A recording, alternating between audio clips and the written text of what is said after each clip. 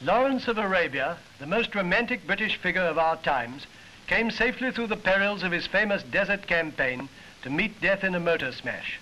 During the war, he organized and led the Arabs of the desert in their revolt against the Turks, whom the British forces were fighting in Palestine.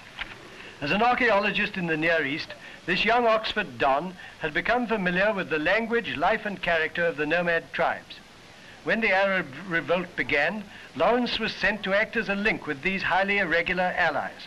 On their fast camels, the desert raiders were a dangerous threat to the Turkish line of communications.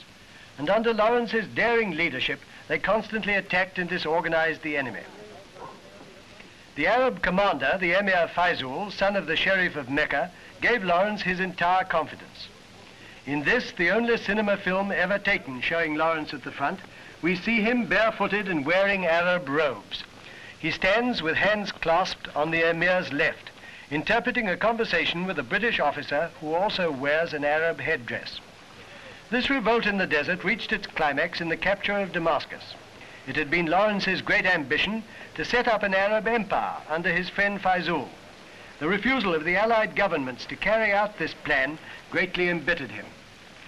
After serving in the Royal Air Force under the name of Shaw, he retired to this little cottage lost amid the Devonshire moors. Here is Pat Knowles, his batman and only companion there. The same simplicity as marked the character of Lawrence in life was observed at his funeral. There was hardly anything to distinguish it from the burial of the humblest of his village neighbors.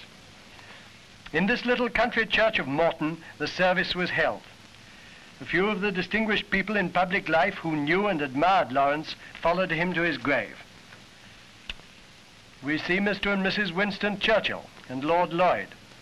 Lawrence will be remembered as one of those brilliant but eccentric personalities who have so often served the British Empire well. His deeds were done amid the wastes of desert sand, but he sleeps in English earth.